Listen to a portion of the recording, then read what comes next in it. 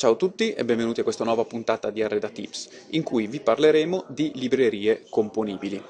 Librerie quindi composte fondamentalmente da eh, pezzi standard, che sono le spalle, i ripiani ed eventualmente gli schienali. Utilizzeremo per eh, illustrarvi la potenzialità, l'enorme potenzialità arredativa di questo tipo di librerie, il nostro best seller che è la libreria Almond. Vedete una libreria in questa foto molto semplice, eh, che però può essere personalizzata a livelli veramente altissimi.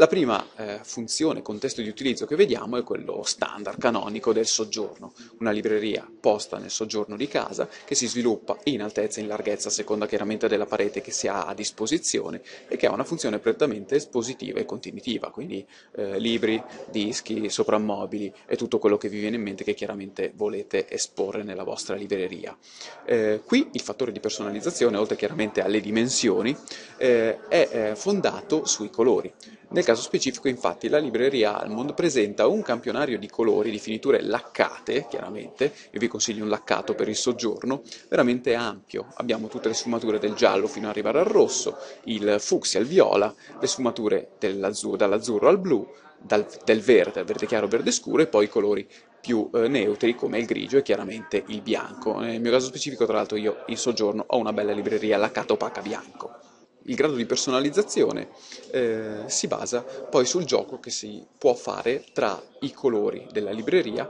e gli accessori che vengono utilizzati. Ad esempio in questa foto vediamo una libreria Almond in laminato frassino con ante e eh, cassetti laccato verde bosco.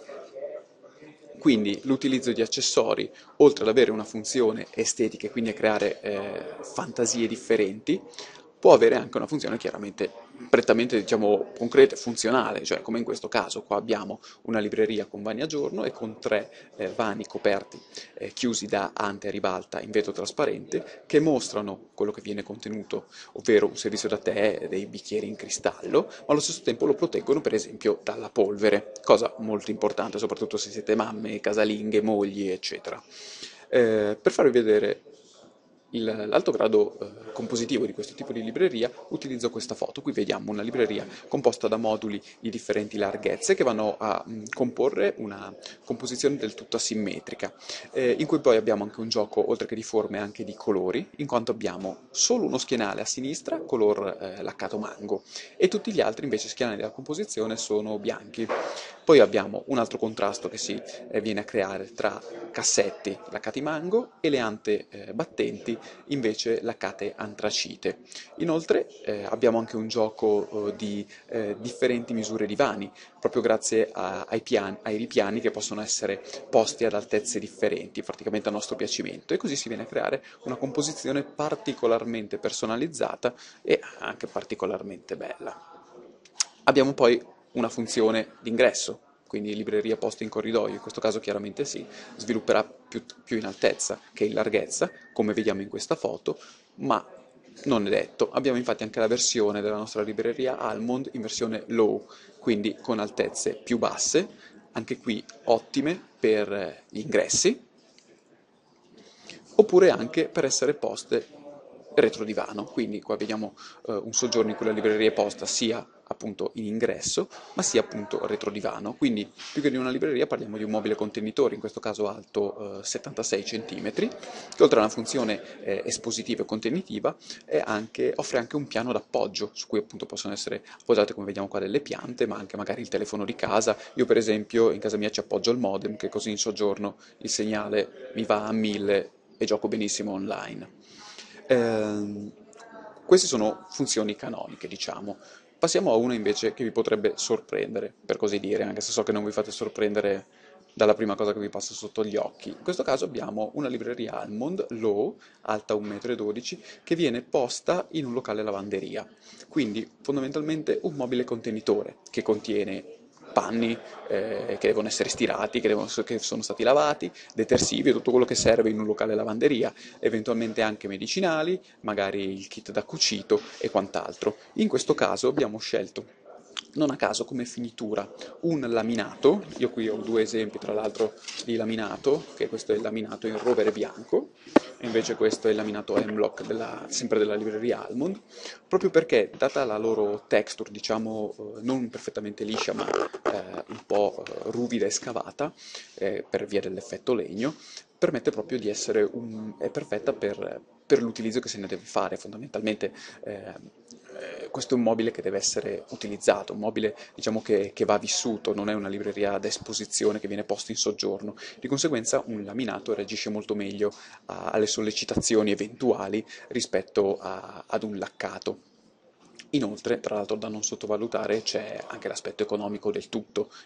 che di questo tempo poi tra l'altro eh, diventa una, un fattore importante di scelta per quanto riguarda l'arredamento e non solo. Eh, detto questo passiamo a eh, altri tipi di composizione di librerie che sono quelle a ponte e quelle angolari.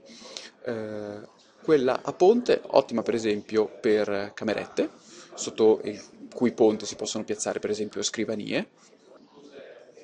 oppure, come vediamo in questo schema, possono essere anche poste in camera da letto con sotto il ponte un bel letto, oppure in salotto con il divano. Dopodiché, se invece in soggiorno avete una parete, diciamo delle due pareti particolarmente sfruttabili, questa libreria si possono dar vita anche a composizioni eh, particolarmente importanti come questa, in cui abbiamo una, un'anta scorrevole e anche una scrivania a penisola, sempre della serie Almond, che viene attaccata alla libreria, dando vita quindi a un, a un, angolino, a un angolino studio. Detto questo, passiamo invece ad analizzare un altro contesto d'uso di questa libreria, eh, di questo tipo di librerie, non in particolare della libreria Almond, che è eh, l'uso eh, che viene fatto grazie alla, alla, finitura bifacciale. Quindi libreria che diventa anche eh, divisore d'ambienti, in questo caso posta in ingresso, divide l'ingresso dal resto del salotto, allo stesso tempo ci possiamo mettere i nostri libri ed appoggiare anche, dato che in questo caso è stata scelta eh, una, una, versione low, una versione bassa, appoggiare eventuali soprammobili o eh, telefoni e quant'altro. Qui invece vediamo un nuovo contesto d'uso che potrebbe sorprendervi ancora, ovvero un mobile contenitore Almond che viene posto, sempre bifacciale, che viene posto a dividere una cucina vista dal resto della sala da pranzo. Quindi più che una libreria anche qui abbiamo un, un mobile particolarmente funzionale che diventa, oltre che diciamo, un, un, contenitore, ci potete mettere dentro per esempio le ricette o la tovaglia, i tovaglioli, eh, le posate, eh, i piatti, anche diventa un piano d'appoggio, un ulteriore piano d'appoggio oltre a quello della, standard della cucina che vi può essere particolarmente utile, per esempio lì c'è appoggiato sopra un vassoio con le tazze del caffè, ottimo. Detto questo, eh, passiamo all'ultima l'ultimo contesto d'uso che voglio presentarvi, che è quello del, dell'ufficio. Andiamo nella scheda della scrivania Almond, chiaramente anch'essa ottima da mettere in ufficio, e vediamo qui una serie di Almond Low in finitura laminato, eh, posti in un ufficio che, oltre alla classica funzione contenitiva e il piano d'appoggio, dividono l'ambiente dell'ufficio, separando l'ingresso dalla parte operativa. Stesso tipo di situazione, ma una differente scelta estetica, in questo caso abbiamo una libreria alta, quindi con più vani, quindi che separa ancora meglio l'ambiente e in cui sono stati poi usati degli accessori, in questo caso dei eh, cassettoni che adibiscono con funzione poi di, di raccoglitore, degli schedari fondamentalmente. La finitura in questo caso invece è stata scelta, è stata scelta laccata. Queste quindi sono solamente alcune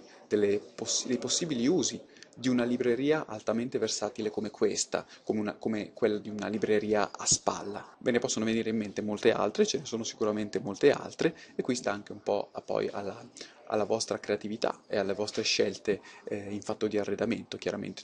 trovare nuove funzioni per questo tipo di libreria. Provate eventualmente magari a dare un occhio anche eh, al nostro catalogo per fare venire in mente qualche idea. Per adesso vi ho asciugato abbastanza, vi saluto e vi lascio diciamo, vi do appuntamento a settimana prossima con un'altra puntata di Relatives, perché adesso partiamo a bomba, facciamo una settimana, una puntata a settimana e probabilmente la prossima volta c'è anche la mia collega Eleonora, che per il pubblico maschile è sempre un bel vedere. Ciao a tutti!